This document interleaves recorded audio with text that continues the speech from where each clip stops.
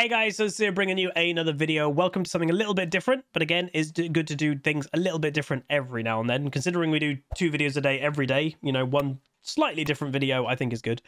Um, so I wasn't 100% going to do a Worlds Pick'em, but I opened it because people on Twitch chat were telling telling me like, am I going to do it? Give it a go. And what made me decide I'm going to do a video about it? One, I think some people who follow pro play might just find my answers funny. Uh, but secondly, I liked these. So they've never really done this before. This is champion specific things of like which will be the most picked champion during Worlds, which will be the most banned champion.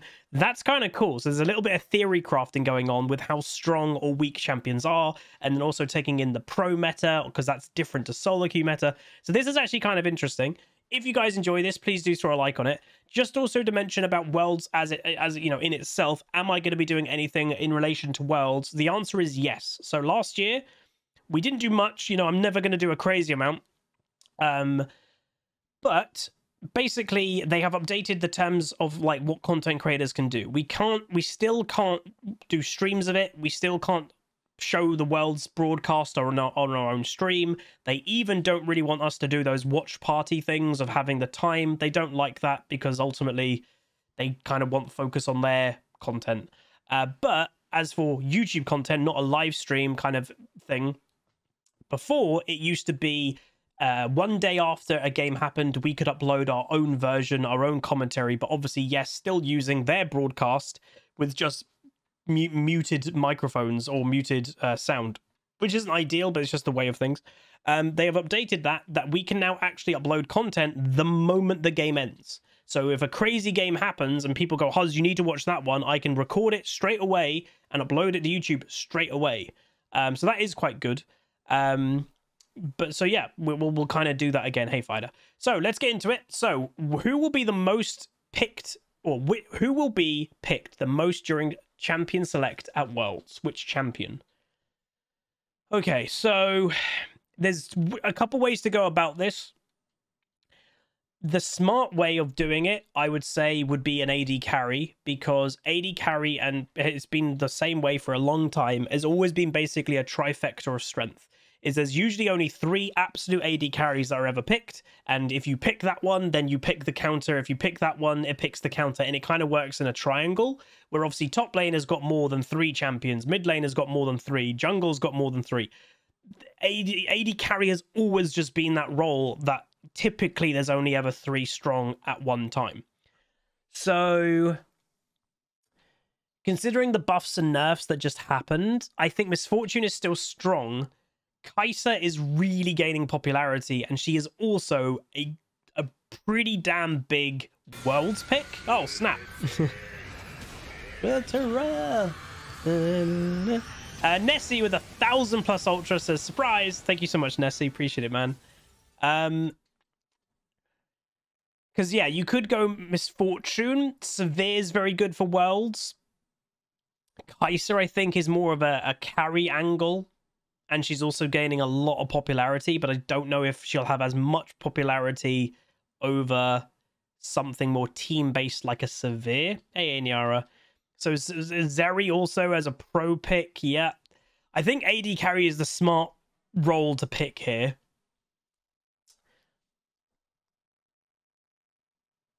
Zeri isn't good. She's very good in the hands of good players. That's the thing. And we're going into worlds.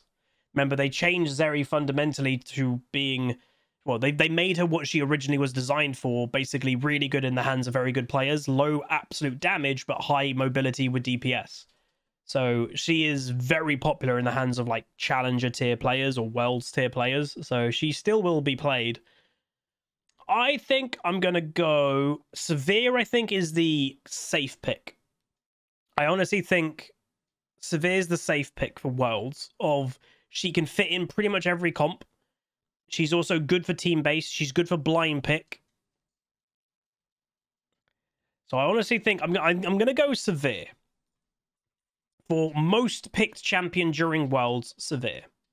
Which champion will be banned most? So this is where potentially a Hecarim, an Udyr, a Zeri, these three uh, kind of in, are in my mind a little bit. Even Kalista as well. She's a very big world's champion. Sylas, yeah, Sylas. We literally just played a game of Sylas. Oh, is Udyr disabled for Worlds? Ah, that's good information to have. Yuumi. Yuumi's annoying, but I don't know if she's like crazy, crazy good in Worlds. I don't know. Is she? I think the safe one here is, to be honest, for me, I think it's Zeri. I think Zeri is by far the safest thing here. So I'm going to go with Zeri. I remember you all can do this at home. Um, it's on the LOL esports website. Do your own uh, pick'ems. And then, all right, so who will have the highest win rate at Worlds? Minimum five games played. This is where I'd be tempted to do Hecarim. Or Ornn. Oh, maybe Ornn. Well, that's the thing. So Nessie just said Sylas. Sylas, I I do think is going to be a high ban champion as well, and he might. If a champion is really high ban, they might not even get five games played. That's you again. It has to have five games. Hmm. Highest win rate. You know, actually, what I'm going to do? I'm actually going to put Kai'Sa. Kai'Sa is gaining strength popularity. She's a crazy pro pick. She rewards good play, and she is strong. Kai'Sa.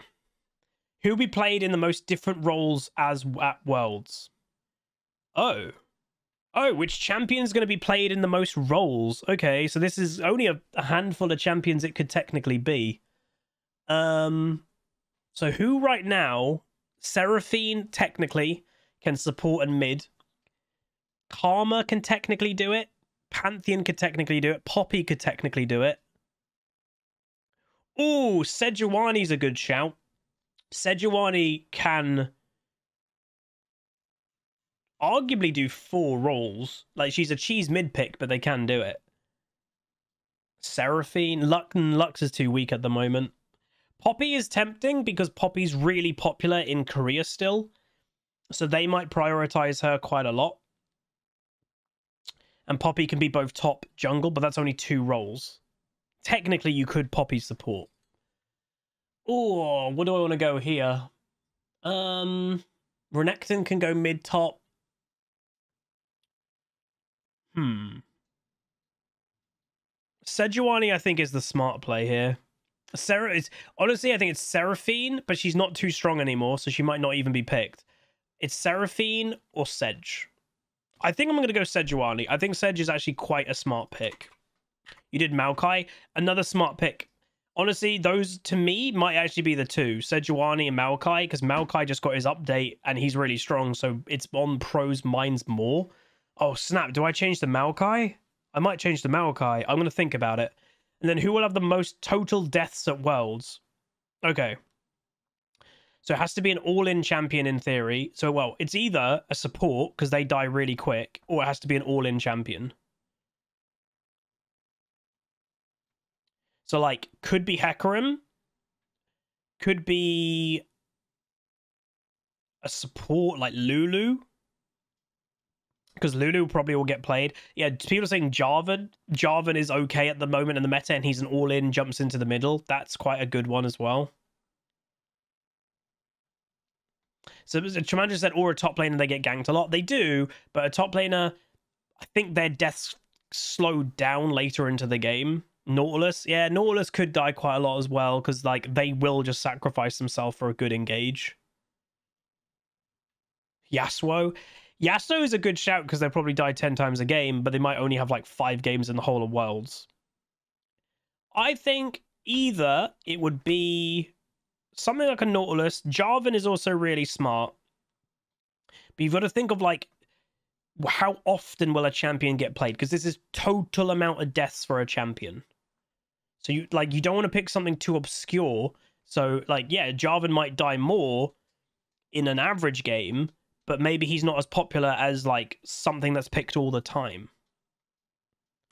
Ooh, that's a good shout. Renekton. I think it actually could be Renekton. He's still played a lot. He's all in. He doesn't mind sacrificing himself in late game because at that point he's kind of fallen off. That actually makes a bit more sense. Like, I wouldn't pick a duelist top laner because the duelists, they actually die quite little, but Renekton wants to fight. I'm actually going to go Renekton. Okay. I, again, I might change these, but these are my default right now. I'm still thinking if I swap that. All right, next up. This is where I completely fall apart because I don't know the current players of League. Who will have the highest KDA at Worlds?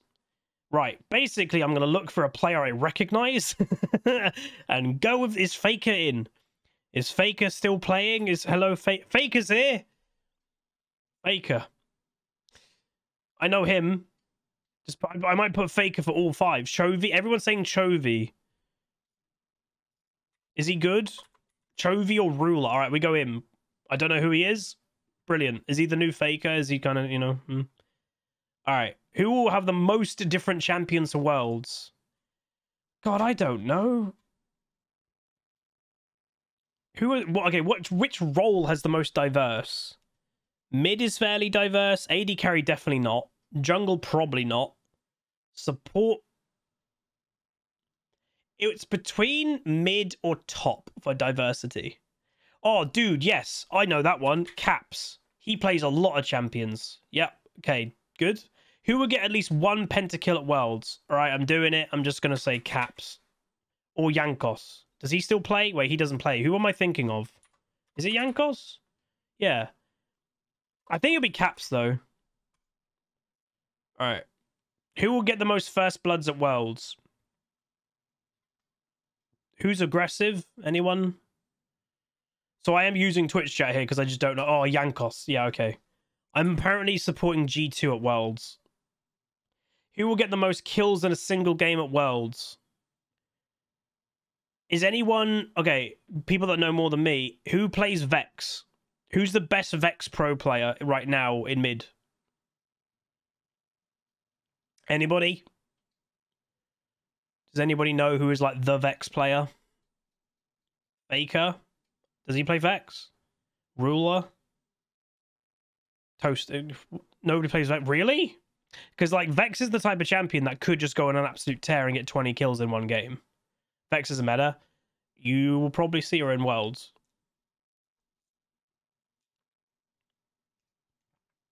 I would put a little bit of money on. You probably will see. All right. Well, it's going to be a mid or an AD carry that gets the most kills in one game. Um, should we? We've done a lot of mid. Should we pick an AD carry? Who's like the favorites? Someone said Guma. Who's Guma? I am T1. We'll do him. Boom. Don't know who he is. Fair enough. Right, next up. Which team will win Worlds? No idea. Who's the number one seed? Gen G? Judge? What? God, there's so many teams I don't recognize. Wait, Mad Lions made it to Worlds? Okay. I thought they were terrible. Oh, they were a few years ago. So wait, people are saying either Gen G or JDG. Oh, them. So it's either Gen G or JD Gaming. We'll go Gen G. Sure. Which team will place... Oh, dude, what? Okay. EU Pride, Fnatic. Second, Royal Never Give Up. Never count them out. I know that. You all know that. This one, uh, I don't know that one. We'll come back to it. Wait, what's that one? Sorry. Which team for the? Oh wait. Oh, which team from a region? Wait, what? Where's? I'm so confused. Was Gen G? Okay, question. Where's this? Where's Gen G? I've got winner of playing group A, playing group. Oh wait, there's play-ins. Oh, right. Okay, that makes sense. All right. So which team from region? Wait, which team from a region with two seeds or less will advance the furthest during Worlds? Is Saigon Buffalo Esports? Were they used to be Saigon Taipei? Is that the same team?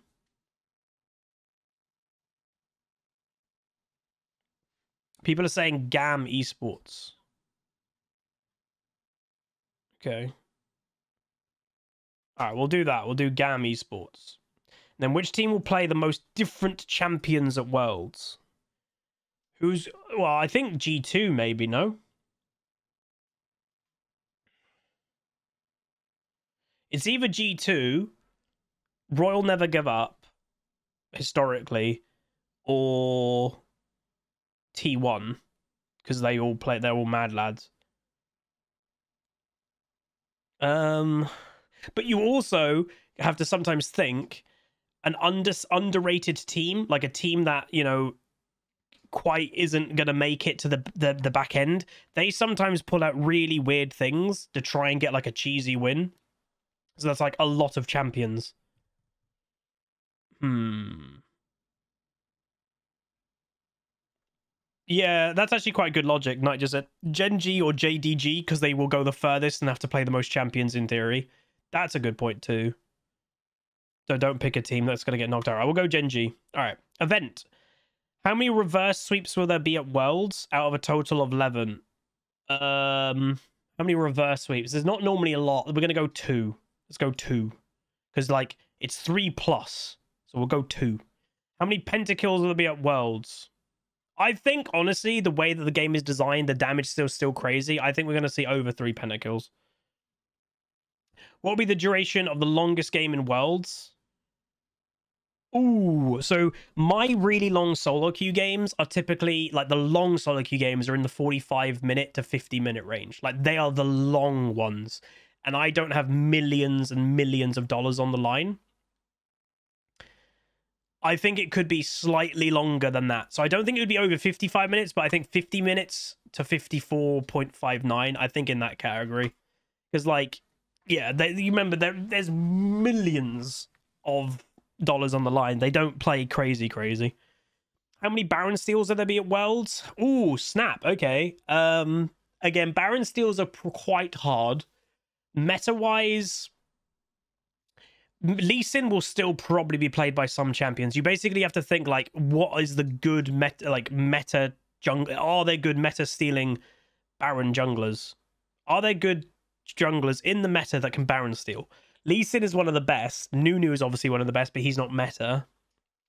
I don't think there's going to be too many.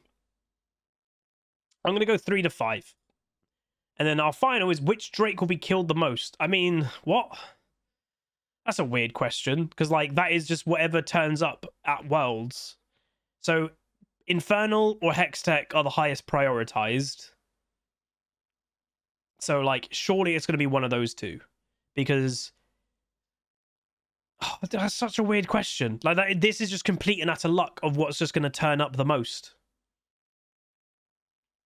Pros love Ocean. Yeah, no, they love it, but they don't. They can't change it if you know what I mean. Uh, Mr. Legend one two three five. Thanks so much dude for the seventeen months of Prime. Says LOLO King Pleb been a while. How you doing, man? Um. So yeah, this is just utter luck of which one is showing up. Like there, there's no strategy in this. It's just will it show up or not. I'm just going to go Infernal. There we go. It can't be Chem. But that is it. So the only thing that I'm potentially tempted to do, obviously I can change these picks for the next five days of me doing this.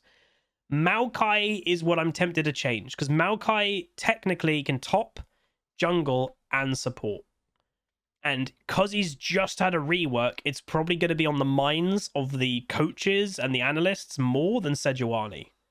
What exactly is a, re- a reverse sweep? Okay, so a, a reverse sweep in a best of five is one team wins the, the first two games and then they end up losing the next three, so they get reverse swept. It does happen. Uh, usually it's quite rare, but it does happen. Um, I'm going to change it. I'm decided. I'm going Maokai. I think, again, if Sejuani wins it, I'm going to be sad. But there we go. Let me know what you guys think. Feel free to do, obviously, your pick'ems. Uh, it's on the LOL Esports website. Just Google LOL Esports, and at the top, there's scheduled VODs, standing rewards, and pick'em. Um, so do it. Let me know what you think of mine. Do I am I right? Am I wrong? Obviously, the area that I don't know most about is well, the player and the team ones. Um, but yeah, why is Zeri banned most? Because Zeri is a crazy champion in the hands of good players, and it's worlds the best players in the world. So people won't want their opponent to have Zeri because she's absolutely nuts. Um, again, you don't sometimes see the true strength of a champion in our own solo queue games or the win rates and stuff because players aren't that good. So, yeah. But anyway, that's going to be it. Bit of a different video, but hopefully you guys enjoyed. A bit of a laugh. If you did like it, do throw a like on it, throw a comment, throw a subscribe, and I'll see you guys next time. Goodbye.